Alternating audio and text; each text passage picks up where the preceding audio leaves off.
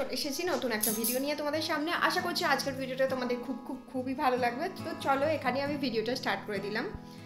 তো সব কিছুরই আজকে যেটা বলব তোমাদের সঙ্গে ইম্পর্টেন্ট কিছুই শেয়ার করব।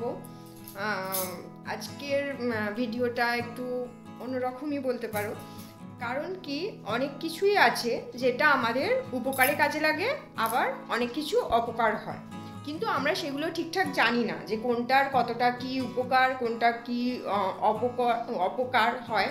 এটা আমরা সবাই জানি না। কারও থেকে শুনি, তখন ভাবি যে, ও আচ্ছা তারপরে অনেক সময় এই নেট থেকে জানি, বই থেকে পড়ে জানি। তো বিভিন্ন রকমভাবে আমরা জানতে পারি।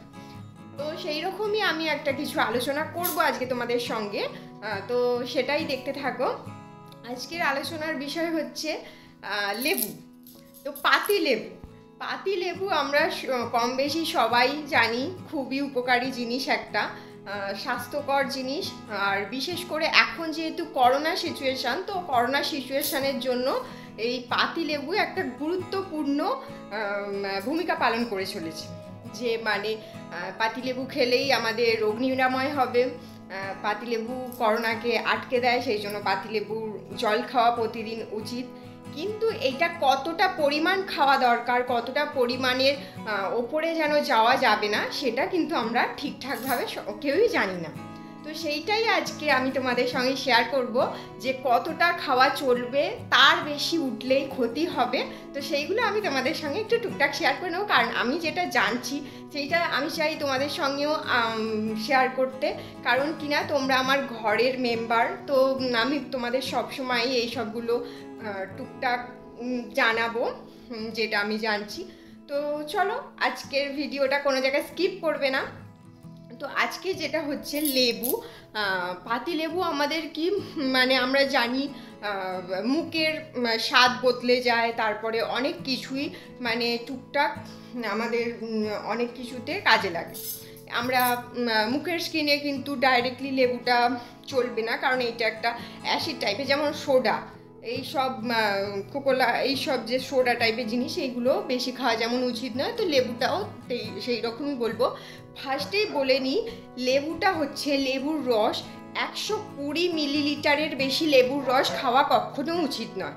এর বেশি ওপরে উঠতে গেলেই তাহলে বিভিন্ন রকম আমরা রোগের লক্ষণ দেখতে পাবো। তো এইগুলো যদি রেগুলারলি আমরা যদি বেশি বেশি করে খেতে যাই যে এইটাতে আমাদের রোগ সারবে, তো সব কিছু ছেড়ে দিয়ে চলো লেবু খাই, লেবুর জল খাই, লেবুর রস দিয়ে এই খাই। তো এইটা একদমই উচিত নয়। একশো কুড়ি মিলিলিটারের বেশি লেবুর রস কখনো খাওয়া উচিত নয়। আর একশো মিলিলিটার হচ্ছে মানে আমি তোমাদের বলে দিচ্ছি, এক কাপ মানে আমি তোমাদের বলছি, দাঁড়াও।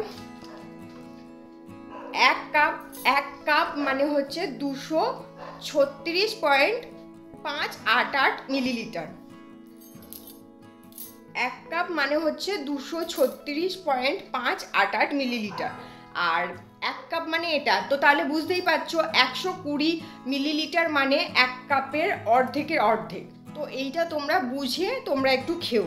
কারণ এটার থেকে যদি একশো কুড়ি মিলিলিটারের ওপরেই আমরা লেবুর রস খাই বা লেবু রস জুস এসব খাই, তো তাহলেই তখন আমাদের প্রবলেমেটিক শুরু হয়ে যাবে।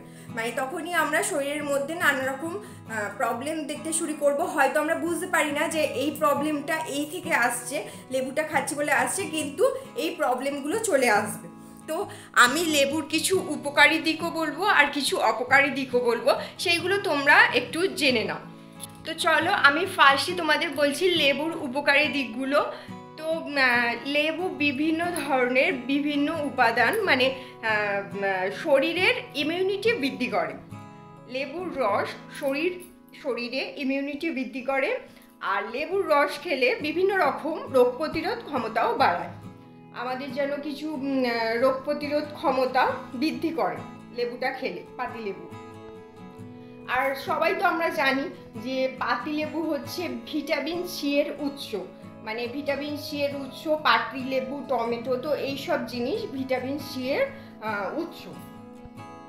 আর এছাড়াও কি করে? এছাড়াও আমাদের পাতিলেবু মুখের স্বাদ বাড়ায়। আমাদের অনেক সময় দেখা যায় জ্বর হলে বা কিছু সর্দি কাশির ক্ষেত্রে মুখের রুচি চলে যায়। তো তখন পাতিলেবুর রস খেলে বা ভাত দিয়ে পাতিলেবু মেখে খেলে পাতিলেবুর জল, শরবত খেলে সেই মুখের স্বাদটা ফিরে আসে। মুখের রুচি ফিরে আসে। তো সেই জন্য সেই সময় পাতিলেবুর রসটা খাওয়া মানে মুখের স্বাদ ফিরে আসার কারণে সেইটা খাওয়া দরকার। কিন্তু সেই যে বললাম, পরিমাণটা মাথায় রাখতে হবে। আর কি, এইটা শরীরের শর্করার পরিমাণটা ঠিক রাখে। এইটা আমাদের শরীরে শর্করার যে একটা ব্যালেন্স আছে, সেইটা ঠিক রাখতে সাহায্য করে। আর এছাড়া তো জানোই লেবুতে সাইট্রিক অ্যাসিড থাকে, সেই জন্য আমাদের রোগ প্রতিরোধ ক্ষমতা বাড়ায়। আর এছাড়া যখন আমাদের সর্দি কাশি হয়, তখন এই লেবুর রস আধখানা লেবুর রস গরম জলে, ঈষদুষ্ণ জলে দিয়ে মধুর সঙ্গে খেলে আমাদের শরীরে ভালো হয়, সর্দি কাশি সেরে যায়। এছাড়াও যখন নাক বন্ধ থাকে তখন নাক বন্ধ হয়ে যায়, সর্দি কাশিতেই আর কি নাক জাম হয়ে যায়, নাক বন্ধ হয়ে যায়। তো তখন এই উপায়টা করলে তোমরা আরাম পাবে। এই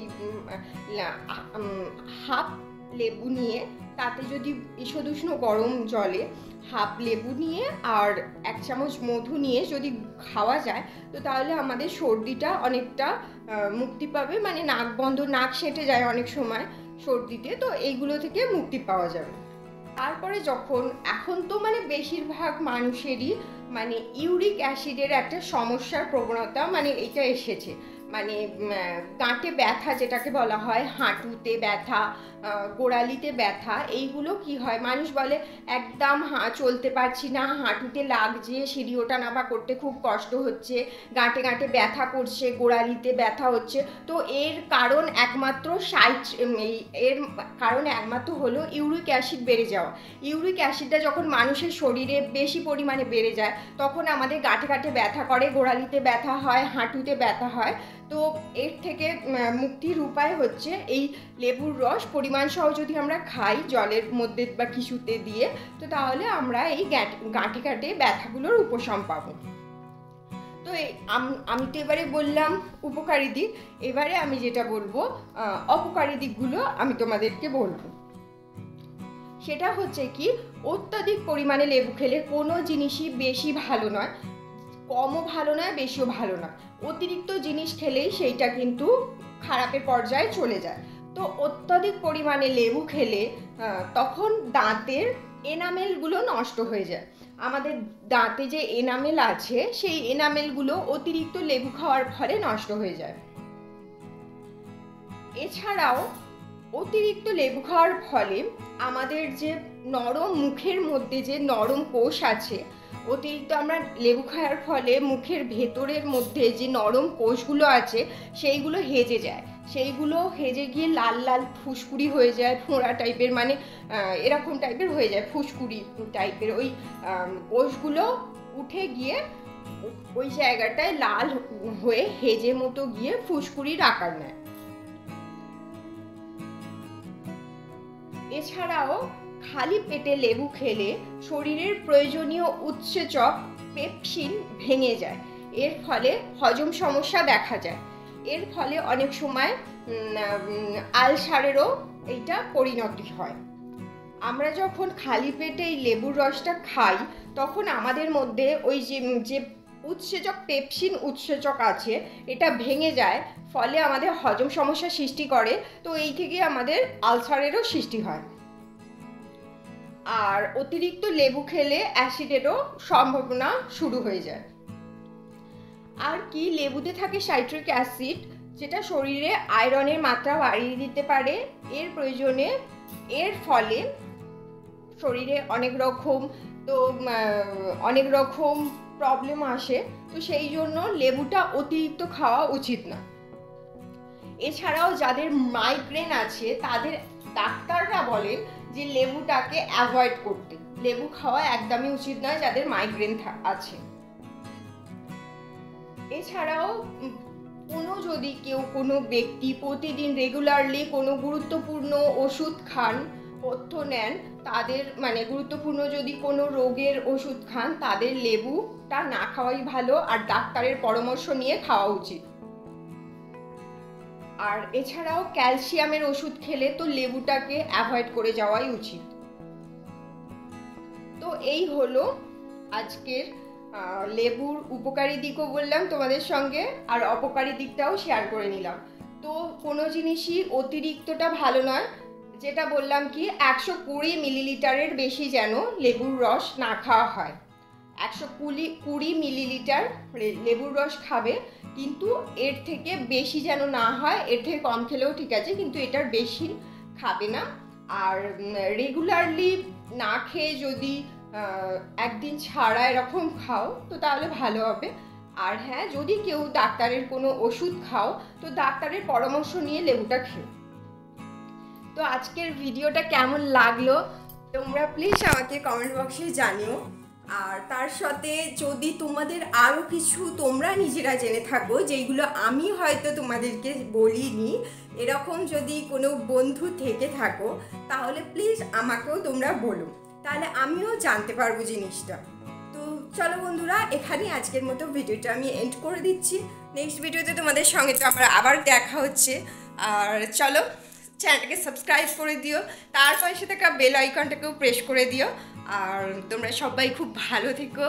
আর আমাকে এই ভিডিওটা শেয়ার করো লাইক করো কমেন্ট করো। আর চলো বন্ধুরা, আজকের মধ্যে আমি এখানেই টাটা করছি। Tata bye bye love you good night